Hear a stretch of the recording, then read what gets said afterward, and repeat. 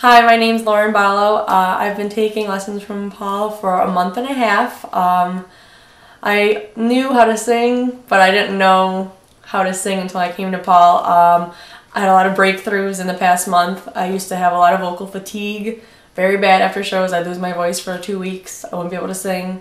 And now the next day I'm fine. I can sing multiple shows in a row.